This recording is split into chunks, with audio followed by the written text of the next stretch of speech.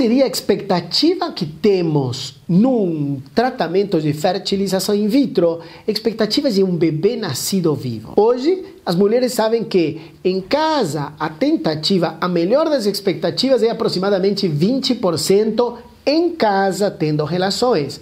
20% de 5 engravida uma. E essas expectativas, quando fazemos fertilização in vitro e transferimos um embrião, e falo de um embrião porque na Inglaterra eles transferem um único embrião inicialmente, quando você tem embriões de boa qualidade, até os 37 anos. Eles transferem um único embrião até os 37 anos. Dessa maneira, você terá uma chance de gravidez entre na primeira transferência e nas subsequentes entre 20 e 35% quando transferimos embriões. Mas esses embriões são em geral, um embrião por cada tentativa, um por cada transferência, o que diminui a chance de gestações múltiplas, o que faz com que nasçam mais bebês saudáveis, que você tenha menos complicações, que você tenha menos abortamentos por causa de uma gestação gemelar. Então, eles transferem um embrião, menos de 37 anos, a expectativa de um bebê nascido vivo vai ser entre 20 e 35%.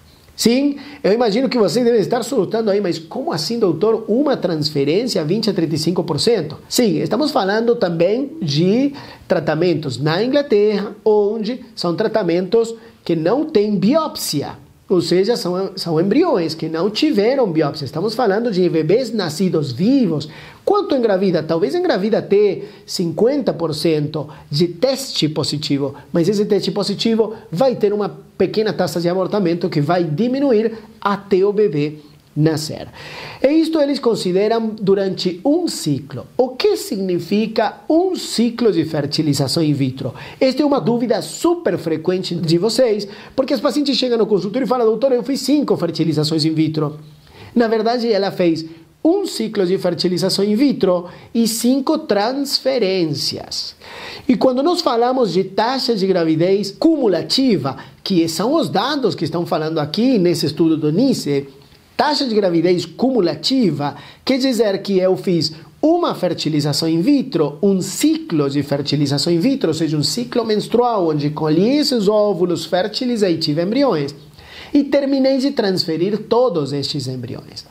Quando eu transferi todos os embriões, completei meu ciclo. Então, aí sim aumenta a taxa de gravidez. Bom, doutor, mas eu tenho 33 anos, com 33 anos e trompas obstruídas, qual seria a minha chance de gravidez? Será que eu tenho só 35? Não, provavelmente você, depois de transferir todos os embriões, tem uma chance de gravidez talvez de 60%, 65%. Claro que terá mulheres que terão 80%, que terão um muito melhor perfil, mas não nos podemos generalizar nem o muito bom, nem o muito baixo.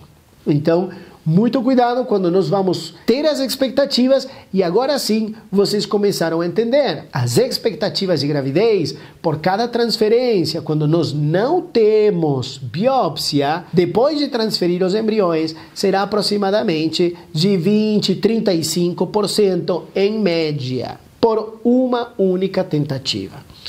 Bom, e aí surgiram vários estudos e a NICE, que são aquelas recomendações da Inglaterra de como cuidar essas pacientes, essas, eh, a população, como tratar, o que fazer, eles recomendam fazer três ciclos. E por que três ciclos? Porque eles já entendem que se em um ciclo nós vamos ter só um terço das mulheres, ou, ou, um pouquinho mais de um terço, ou seja, de 10, entre 3 e 4 vão ter seu bebê, 6 não terão seu bebê no primeiro tratamento de fertilização in vitro. E eu acho que isto sim vocês poderiam tomar para vocês. Então somos 10 meninas, essas 10 meninas, dessas 10, em cada ciclo de tratamento vão engravidar talvez e terão seu bebê nascido vivo, 4. E as outras seis, elas talvez precisem fazer mais uma captação. E essa captação vai nos dar mais óvulos, mais embriões e maiores chances de ir transferindo novamente embriões e aumentando assim a taxa de gravidez. Então sabemos que menos de 37 anos nós vamos ter essa expectativa.